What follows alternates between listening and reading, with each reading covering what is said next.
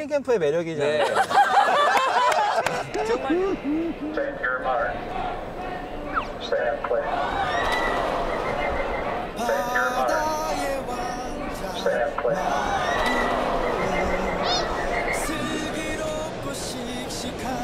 용감스러운 마린 보이 소년 힘내라, 박태환.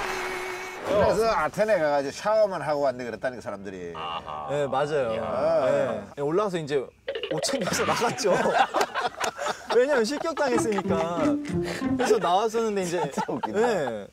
이제 선생님들한테 욕 먹고 그때 당시에 이제 막 정말 창피한 게 그 아테네 올림픽 중에 거의 첫날 첫 경기예요. 그러니까 첫날 두 번째 경기가 그러는데 실격 당한 사람이 그 전 종목 중, 그러니까 수영이 아니라 Only 육상, 그러니까 저 혼자였던 거예요.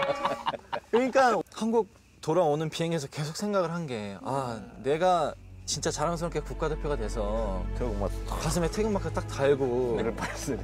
진짜 세계대회 나가는데 고작 내가 한 게 스타트 연습 한 번 하고 나온 게 다니까 너무 제 자신이 제 자신한테 너무 실망을 한 거예요. 내가 고작 이것밖에 안 되나 싶어서 한국 가서 부모님이 반겨주시는데 어, 정말 지구멍에 숨고 싶은 거예요. 너무 죄송하고 너무 부끄럽고 창피한 거예요. 그래서 집에 가서 정말 진짜 몇 달간을 그냥 집 밖에 안 나왔어요. 정말 아니, 수영을 안 했었어요 그때. 어 그래요 그 정도. 아, 내 자신이 이렇게밖에 못할 거면 차라리 수영을 하지 말자라는 생각이 너무 드는 거예요. 그러니까 그게 어려서 더 그런 것 같아요. 어린 마음이 그렇죠. 그래서 안 하게 되다가 어쨌거나 다시 수영을 시작하게 되고 대표팀 복귀해서 하는데 그때부터 이제 스타트 연습을 주기적으로 많이 했어요. 그러니까 남들 몰래. 그러니까 남들 몰래. 네. 왜냐면 그때 당시에는 내가 뭐 이름이 날릴 때가 아니니까 자꾸 뭐만 하면 뭐 방송에 나오고 뉴스에 나오고 그때 이러니까 당시 이름을 날릴 때는 아닌데 그걸로 이름을 날렸어요. 예, 지금이야 이제 웃으면서 정말 얘기할 수 있죠. 그리고 또 언제 또. 그만두고 싶으셨어요? 이제 베이징 올림픽 이후에 네. 2009년 시즌에 세계 선수권을 나갔었는데 아, 저 이게 슬픈 얘기인데 자꾸 웃게 되네요. 괜찮아요, 괜찮아요. 근데 그때 제가 그게 전 종목 예선 탈락을 했어요, 제가. 박태환 선수가 예선 탈락하는 수모를 당했습니다. 200m에서도 1500m에서도 모두 예선 탈락의 고배를 마셨습니다. 그래서 좀 대중분들한테 많이 욕도 먹고. 근데 대중들도 좀 충격이었죠, 예, 사실. 충격으로 와닿을 수밖에 없었던 게 그 바로 전년도에 올림픽 타이틀을 얻고 난 다음 바로 다음이라.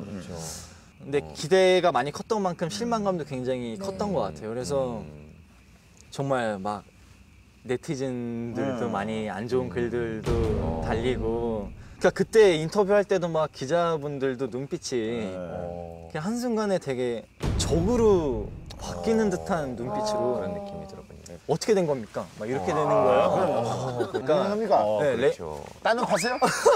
네. 아 진짜 그런다니까요. 그렇죠. 진짜 그래요, 어, 근데. 광고 찍고 하신 게 뭐 좀 영향이 있었습니까? 뭐 네, 이런 막 거죠. 그런 식으로 하면서 그렇게 하는 거죠. 어. 뭐 훈련량이 부족하지 않, 않았냐는 뭐 이런 식으로 와 인터뷰도 너무 이렇게 막 두려워요. 가 슴이 꽉 쪼이는 듯한 그런 감정들로 막 얘기를 하게 되니까 마치 제가 죄인인 맞아요. 듯한 그렇죠. 그러면서 제가 한국 오기를 굉장히 좀 무서워했었어요. 음. 네, 내가 한국에 가면 공항에 내려서 어. 짐 찾고 이제 나가면 바로 기자분들 있고 많은 분들이 있을 텐데 내가 거기서 살아서 집에 돌아갈 수 있을까? 어머, 그러니까 그렇게까지 생각이. 예, 어, 너무 무서운 거예요. 그래서 한국 가니까 이제 반응들은 되게 그냥 싸늘하더라고요.